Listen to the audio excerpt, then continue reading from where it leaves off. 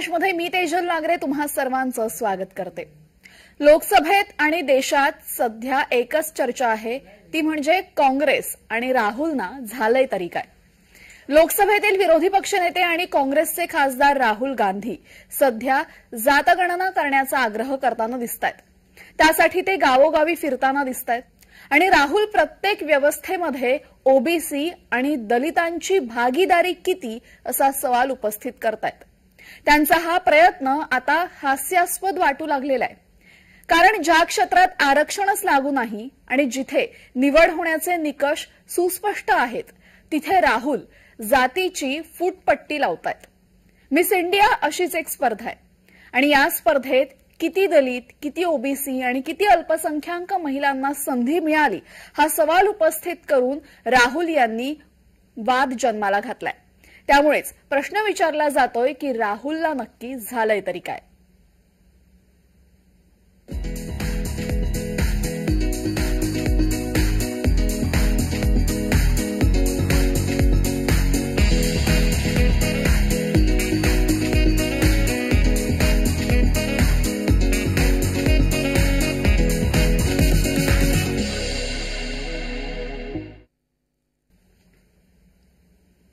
देशव्यापी जात गणनेची मागणी करताना संविधान सन्मान संमेलन कार्यक्रमामध्ये प्रयागराज इथं राहुल गांधी यांनी वक्तव्य केलं की मिस इंडिया विजेत्यांची यादी पाहिली आणि त्यानंतर त्यांना त्यामध्ये दलित आदिवासी किंवा ओबीसी दिसल्या नाही. या कार्यक्रमामध्ये राहुल यांनी नक्की काय म्हटलंय पाहूयात. मैंने मिस इंडिया की लिस्ट निकाली कहा ठीक है देखते हैं. मतलब माइनॉरिटी भी 90 परसेंट में आती है, मैडम। आप भी शामिल हैं। और आपको, और और शायद जो आपके साथ हो रहा है, वो सबसे ज़्यादा खराब है। मतलब आप पर तो डायरेक्ट आक्रमण हो रहा है। राइट मगर आप भी 90 परसेंट में हैं। तो मैंने लिस्ट निकाली मिस इंडिया की। मैंने कहा, भैया, इसमें तो होगा मतलब एक दलित महिला तो होगी, एक आदिवासी महिला तो होगी। ना ना दलित है, ना आदिवासी, ना ओबीसी, कोई नहीं। मैंने मिस इंडिया की लिस्ट निकाली, कहा ठीक है, देखते हैं। मतलब माइनॉरिटी भी 90 परसेंट में आती है, मैडम। आप भी शामिल हैं। और आपको, और और शायद जो आपके साथ हो रहा है, वो सबसे ज़्यादा खराब है। मतलब आप पर तो डायरेक्ट आक्रमण हो रहा है। राइट मगर आप भी 90 परसेंट में हैं तो मैंने लिस्ट निकाली मिस इंडिया की, मैंने कहा, भैया, इसमें तो होगा। मतलब एक दलित महिला तो होगी, एक आदिवासी महिला तो होगी। ना ना दलित है, ना आदिवासी, ना ओबीसी, कोई नहीं। तर प्रयागराज इथं राहुल यांनी केलेलं वक्तव्य इतकं तर्कहीन आहे की त्यांची सभागृहातच पिसं काढली गेली आहेत. केंद्रीय अर्थमंत्री निर्मला सीतारामन यांनी थेट सवाल विचारला की ज्या राहुल गांधी यांना सगळीकडे जात दिसू लागलीय त्यांनी राजीव गांधी फाउंडेशनमध्ये किती दलित आणि किती ओबीसींना संधी दिली आहे पाहुयात निर्मला सीतारामन काय म्हणतायत. जो दूसरे को बोल रही हो वो आप पहले कर दिखाओ। मैं पूछ रही हूँ। सर राजीव गांधी फाउंडेशन में कितने एससी है? कितने एससी है? कितने ओबीसी है? क्योंकि बाहर के वाले लोगों का नाम पढ़ना नहीं है नौ लोग हैं कोई एससी नहीं है। Charity begins at home sir आप पहले आपके व्यवस्था सही करो एससी को दो फिर आकर हमसे पूछ लो भाई। ये बोलो सर, फिर दूसरा एक उदाहरण देती हूँ sir, Rajiv Gandhi charitable trust उसमें पाँच लोग हैं बोर्ड ऑफ़ ट्रस्टीज में, नाम नहीं पढ़ रही हूँ सर। मगर मुझे एक भी एससी नहीं दिखाई।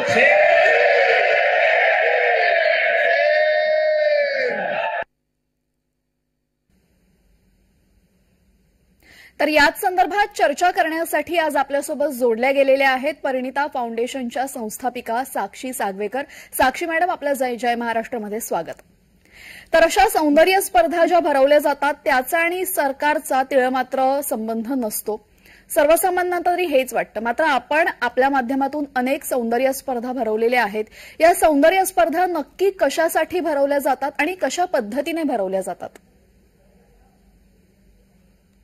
कसं आहे ना की प्रत्येक जण वेगवेगळ्या पद्धतीने सौंदर्य स्पर्धा आयोजित करत असतात. काही ब्रँडसाठी केल्या जातात तर काही आपण ऑर्गनायझर हे मॅनेजमेंटकडे देऊन करून घेतल्या जातात. तर जेव्हा आम्ही ऑर्गनाईज करतो त्यावेळेला प्रथमतः कोणतीही जात वगैरे बघितली जात नाही.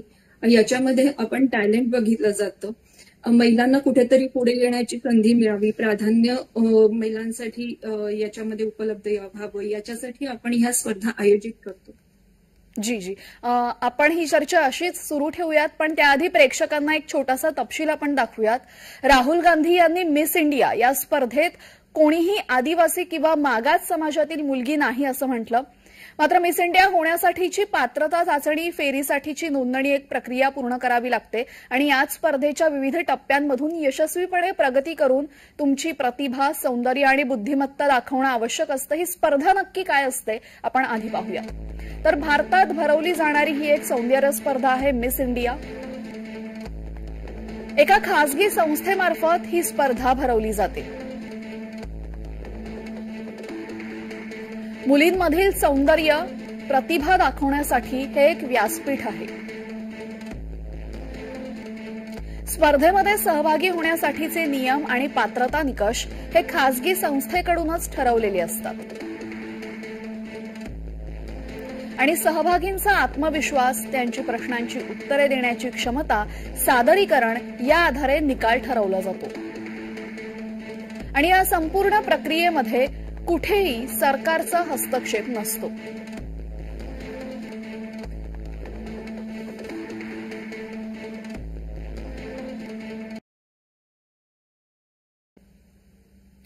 तर साक्षी मॅडम एका महिलेला तिचं सौंदर्य प्रतिभा दाखवण्यासाठीचं एक मोठं व्यासपीठ म्हणून मिस इंडियाकडे बघितलं जातं. दरम्यान या ज्या सौंदर्य स्पर्धा असतात त्या सौंदर्य स्पर्धांमध्ये जी एनरोल होण्याची प्रक्रिया असते समाविष्ट होण्याची प्रक्रिया असते त्याच्यासाठीचे निकष जनरली काय असतात आणि विजयी होण्यासाठी नक्की काय काय गोष्टी तिथे कोणकोणत्या फेऱ्या असतात ज्याला सामोरं जावं लागतं? याच्यामध्ये मोस्टली एज कॅटेगरी आणि बाकीचे सगळ्या आयोजना खरं तर आयोजकांवरती असतं की कोणकोणत्या पद्धतीचे तुम्ही त्याच्यामध्ये नियम आणि अटी लागू करतात. कारण प्रत्येक आयोजक हे वेगवेगळे नियम आणि अटी लावतात. पण शक्यतो वय आणि याच्यामध्ये कुठेही जात बघितली जात नाही.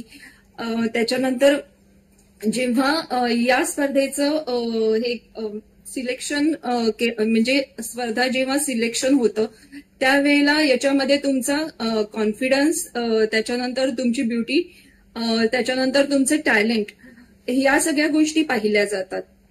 जी जी जी. तर अशाच या स्पर्धांमध्ये जिंकणारी महिला ही मागास समाजातली नाही असा आरोप राहुल यांनी केला मात्र. या स्पर्धेमध्ये भाग घेण्यासाठी जी नियमावली आहे त्यात कुठेही जातीचा निकष लावला जात नाही. तुम्ही अमुक एक जातीचे असाल तरच तुम्ही स्पर्धेमध्ये सहभागी होऊ शकतात असा नियम कुठेही लावला जात नाही. दरम्यान याच मिस इंडिया स्पर्धेसाठी पात्रता निकष काय आहेत आपण एकदा प्रेक्षकांना दाखवूयात आणि त्यानंतर पुन्हा एकदा चर्चेकडे वळूयात.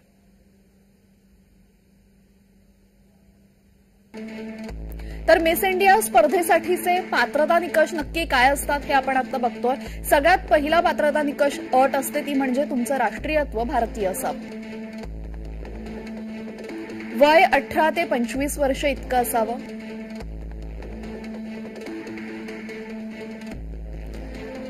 अविवाहित असणं आवश्यक आहे मिस इंडिया या स्पर्धेसाठी. किमान उंची पाच फूट पाच इंच किंवा त्याहून अधिक असावी. यापूर्वी कोणत्याही स्पर्धेचं विजेतेपद जिंकलेलं नसावं.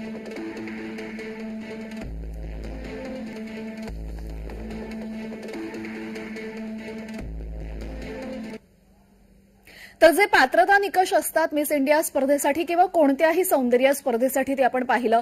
जनरली तुमचं तुम्ही अविवाहित मिस इंडिया जर असेल किंवा मिससाठी जी कॉम्पिटिशन असेल त्यासाठी तुम्ही अविवाहित असणं आवश्यक असतं. वयोमर्यादा एक ठराविक हवी उंची एक ठराविक हवी या सगळ्या गोष्टी दिलेल्या असतात. मात्र या स्पर्धेमध्ये एकदा एनरोल झाल्यानंतर तुम्हाला कोणकोणत्या टप्प्यांना सामोरं जावं लागतं आणि हे टप्प्यांना सामोरं जात असताना या स्पर्धेमध्ये टिकत असताना कुठेही जात हा फॅक्टर परीक्षकांकडनं ध्यानात घेतला जातो का किंवा त्याचा काही इफेक्ट होतो का?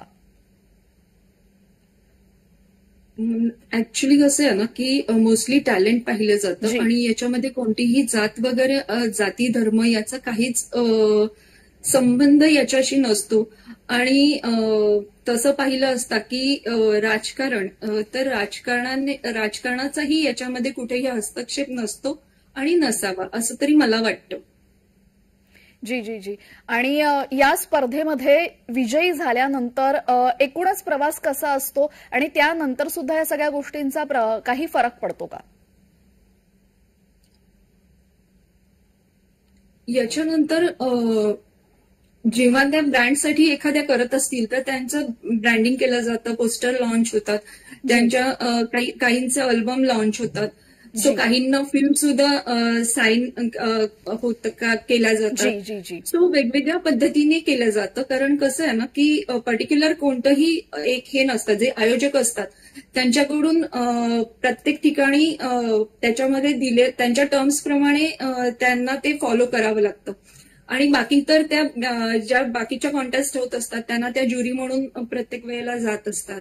म्हणजे एका स्पर्धेच्या माध्यमातून एक मोठं व्यासपीठ एका महिलेला मिळतं आणि त्या व्यासपीठाच्या माध्यमातून एक मोठं अनेक दरवाजे त्या महिलेसाठी खुले होतात. मग ते वेगवेगळ्या प्रकारचे असू शकतात. ऍक्टिंग मॉडेलिंग करिअर या पद्धतीने. दरम्यान याच संदर्भात राहुल गांधींनी वक्तव्य केलं होतं की इथे दलित आणि आदिवासी महिलांना तितकासा सहभाग किंवा या सर्व स्पर्धांमध्ये आदिवासी आणि दलित महिला नाहीच आहेत असं वक्तव्य त्यांनी केलं होतं. आपण पुन्हा एकदा प्रेक्षकांना दाखवूयात. राहुल गांधी नक्की काय म्हणाले होते. मैंने मिस इंडिया की लिस्ट निकाली कहा, ठीक है, देखते हैं. मतलब माइनॉरिटी भी 90 परसेंट में आती है, मैडम। आप भी शामिल हैं। और आपको, और और शायद जो आपके साथ हो रहा है, वो सबसे ज़्यादा खराब है। मतलब आप पर तो डायरेक्ट आक्रमण हो रहा है। राइट मगर आप भी 90 परसेंट में हैं। तो मैंने लिस्ट निकाली मिस इंडिया की, मैंने कहा, भैया, इसमें तो होगा। मतलब एक दलित महिला तो होगी, एक आदिवासी महिला तो होगी। ना ना दलित है, ना आदिवासी, ना ओबीसी, कोई नहीं। मैंने मिस इंडिया की लिस्ट निकाली, कहा, ठीक है, देख। तर मॅडम, तुम्ही अनेक सौंदर्य स्पर्धांचं आयोजन केलेलं आहे, तुमच्याकडे याचा अनुभव आहे. ज्यावेळेस स्पर्धक तुमच्याकडे येतो त्यावेळेस कोणकोणत्या स्वरूपातले स्पर्धक असतात? त्या सर्व क्षेत्रातून किंवा समाजाच्या सर्व टप्प्यामधले समाजातल्या प्रत्येक क्षेत्रामधले स्पर्धक आपल्याकडे येतात का? हो मॅम. कारण कसं आहे ना की हाऊस वाईफपासून अगदी मॉडेल्स पर्यंत सगळे पार्टिसिपेट्स असतात. तर प्रत्येक ऑर्गनायझरवरती डिपेंड आहे की म्हणजे कशा पद्धतीने तुम्ही ऑर्गनाईज करताय ही स्पर्धा. जी. तर गेल्या अनेक वर्षांपासून मिस इंडिया ही स्पर्धा भरवली जाते आणि या स्पर्धेमध्ये विजयी ठरलेल्या या महिला या सर्वच समाजातील क्षेत्रातील असल्याचं पाहायला मिळतंय हिंदू मुसलमान ख्रिश्चन पारशी शीख ओबीसी मागास मुलींनीही यामध्ये सहभागी झालेल्या आहेत आणि त्यांनी विजयावर नाव कोरलेलं आहे. एकोणीसशे सत्तेचाळीसपासून या स्पर्धेला सुरुवात झाली होती आणि तेव्हापासून आतापर्यंत अनेक जणी विजयी ठरलेल्या आहेत. मात्र या सर्व स्पर्धांमध्ये या स्पर्धेमध्ये सर्वसमावेशक सर्वसमावेशकता कशी आहे हे दाखवण्यासाठी काही मोजक्याच विजेत्यांची नावं आपण आता प्रेक्षकांना दाखवणार आहोत. ज्यामध्ये हिंदू आहे मुसलमान आहे पारशी आहे ख्रिश्चन आहे आणि अगदी मागास प्रवर्गातील सुद्धा महिला. मुली या विजयी ठरलेल्या आहेत हे याच्यावरून सिद्ध होतं. त्या कोण आहेत यावर आपण एक नजर टाकूयात. तर आतापर्यंत मिस इंडिया या स्पर्धेमध्ये विजयी ठरलेल्या ज्या मुली आहेत त्या आपण बघतोय. एकोणीसशे सत्तेचाळीस साली सर्वप्रथम ही स्पर्धा झाली आणि या स्पर्धेमध्ये एस्थर विक्टोरिया अब्राहम म्हणजेच प्रमिला या विजयी ठरल्या. त्यानंतर एकोणीसशे पासष्ट साली पर्सेस खंबाटा ज्या पारशी आहेत आणि अर्थातच राहुल गांधी यांच्या अनुसार त्या नव्वद टक्क्यांमध्ये येतात. कारण की नव्वद टक्क्यांमध्ये अल्पसंख्याकही येतात असं राहुल गांधी यांनी म्हटलं होतं. आणि त्यामुळे त्या अल्पसंख्याक आहेत पारशी आहेत. आणि त्याही विजयी ठरल्या होत्या एकोणीसशे पासष्ट साली. त्यानंतर एकोणीसशे सदुसष्ट साली नय्यारा मिर्झा या मुसलमान समाजातील पहिल्या महिला ज्या मिस इंडिया ठरल्या होत्या त्यामुळे इथे सुद्धा आपण बघू शकतो नय्यारा मिर्झा यांच्या रूपाने मिस इंडिया या स्पर्धेमध्ये अल्पसंख्याकही आहेत. एकोणीसशे त्र्याहत्तर साली फरजाना हबीब या मिस इंडिया ठरल्या. एकोणीसशे अठ्याहत्तर साली आलमजीत कौर चौहान या विजयी ठरल्या.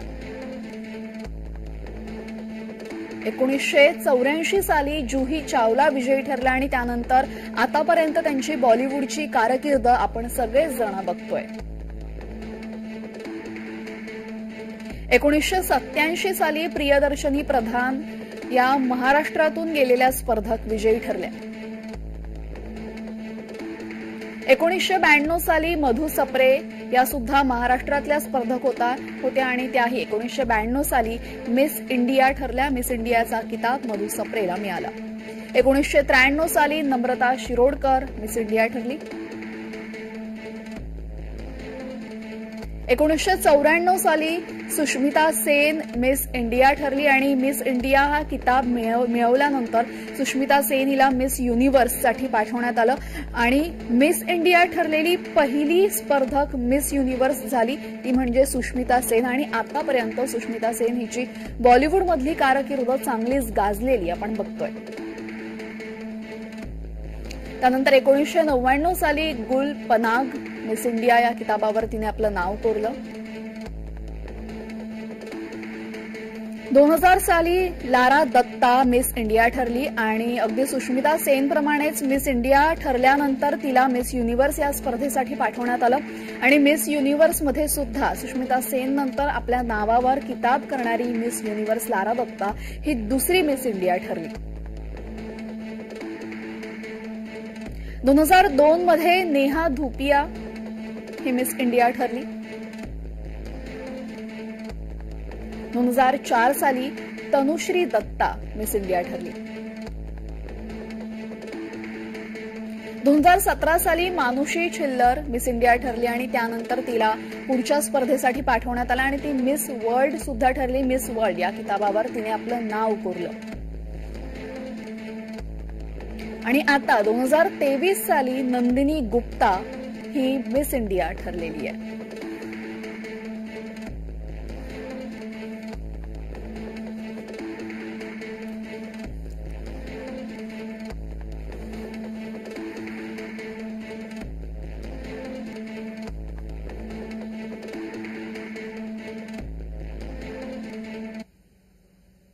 तर मॅडम आतापर्यंत ठरलेल्या मिस इंडिया कोण कोण आहेत हे आपण बघितलं आणि त्यामध्ये सर्वसमावेशकता आहे हे सुद्धा आपण प्रेक्षकांना दाखवलेलं आहे. दरम्यान ही स्पर्धा जेव्हा होत असते कोणतीही सौंदर्य स्पर्धा होत असते त्या सौंदर्य स्पर्धेमध्ये कोणत्या अशा तीन महत्त्वाच्या गोष्टी आहेत जाती व्यतिरिक्त? अर्थात तुम्ही आधीच सांगितलेलं आहे की जात हा फॅक्टर बघितलाच जात नाही. मात्र हे सगळं सोडता त्या स्पर्धकामध्ये तीन अशा कोणत्या महत्त्वाच्या गोष्टी आहेत त्या तुम्हाला व्यासपीठावर सर्वांच्या समोर आणायच्या असतात पहिली तर टॅलेंट. जी. टॅलेंट आवश्यकच आहे याच्यामध्ये. त्याच्यावरतीच तर म्हणजे स्पर्धेचा निकष लावला जातो. त्याच्यानंतर कॉन्फिडन्स तुमचा. कॉन्फिडन्स असेल तर म्हणजे त्याच्यावरती तुमचा रिझल्ट मार्क्स तुम्हाला मिळतात. त्याच्यानंतर face face means beauty beauty पाहिली जाते. कारण uh, कॉन्फिडन्स ब्युटी uh, आणि टॅलेंट या गोष्टी याच्यामध्ये फार महत्त्वाच्या आहेत. जी जी जी. तर राहुल गांधी यांनी केलेल्या वक्तव्यावर आता भाजपाकडनं सुद्धा आरोप प्रत्यारोपाचं सत्र सुरू झालेलं आहे. राहुल यांच्या वक्तव्यावर केंद्रीय मंत्री किरेन रिजिजू यांनी सणसणीत टोला लगावलेला आहे. पाहुयात किरेन रिजिजू काय म्हणतायत. किरेन रिजिजू यांनी राहुल गांधी यांना टोला लगावलाय. राहुल गांधी देशाचे विभाजन करू शकत नाहीत. आता राहुलला मिस इंडिया स्पर्धा चित्रपट आणि खेळांमध्येही आरक्षण हवंय. हा केवळ बालबुद्धिमत्तेचा मुद्दा नाही. तर त्याला पाठिंबा देणारेही तितकेच जबाबदार आहेत. मुलांची बुद्धिमत्ता मनोरंजनासाठी चांगली असू शकते. तुमच्या दुभंगलेल्या चालींमध्ये आमच्या मागासलेल्या समाजाची चेष्टा करू नका असं किरेन रिजिजू यांनी म्हटलंय. तर मिस इंडिया उमेदवाराची निवड सरकार कधीच करत नसतं हेही त्यांनी ठणकावून सांगितलंय. ऑलिम्पिकसाठी खेळाडू आणि चित्रपट कलाकारांची निवड करत नाही. राष्ट्रपती द्रौपदी मुर्मू या देशाच्या पहिल्या आदिवासी राष्ट्रपती आहेत पंतप्रधान नरेंद्र मोदी हे ओबीसी आहेत. अनुसूचित जाती आणि जमातींमधील कॅबिनेट मंत्र्यांची विक्रमी संख्या हे सगळं राहुलला दिसत नाही असं किरेन रिजिजू यांनी ट्विट करत म्हटलेलं आहे.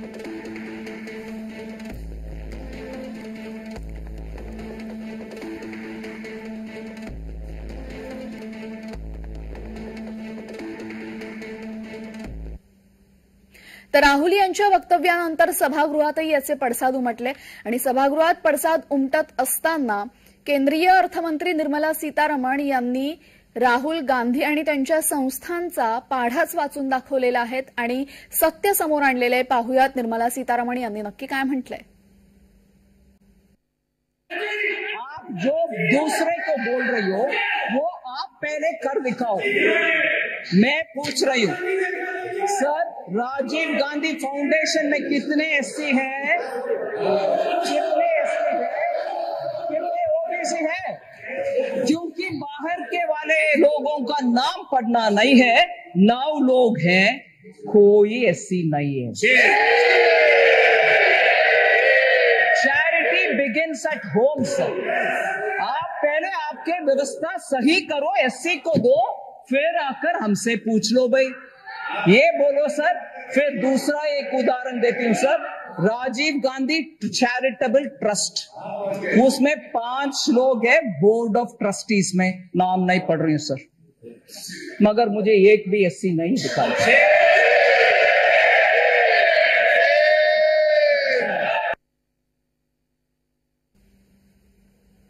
दरम्यान या संपूर्ण चर्चेमध्ये साक्षी मॅडम आपण सहभागी झालात आणि ही संपूर्ण प्रक्रिया आमच्या प्रेक्षकांना समजावून सांगितली. त्यासाठी धन्यवाद.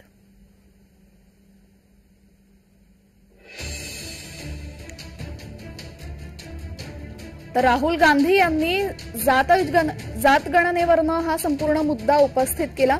देशातली नव्वद टक्के जनता ही मागास आहे. मात्र नव्वद टक्के जनतेचा या संपूर्ण प्रक्रियेमध्ये लोकशाहीमध्ये तितकासा सहभाग नसल्याचं राहुल गांधी यांनी वारंवार म्हटलेलं आहे. आणि आता तर त्यांची वक्तव्य इतकी हास्यास्पद वाटायला लागलेली आहेत की मिस इंडिया सारख्या एका खासगी संस्थेमार्फत घेण्यात येणाऱ्या स्पर्धेमध्येही त्यांना आरक्षण हवंय असं त्यांनी म्हटलेलं आहे.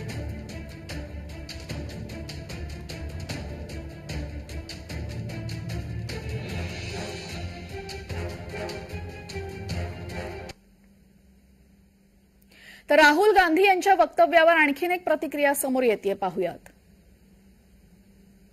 Rajiv Gandhi ji late prime minister Rajiv Gandhi ji gave an interview to Alok Mehta in March 1985, a senior journalist. In that interview, former Prime Minister about OBC reservation says this. Quote kar rahi hu, sir. No promotion of idiots in the name of reservation.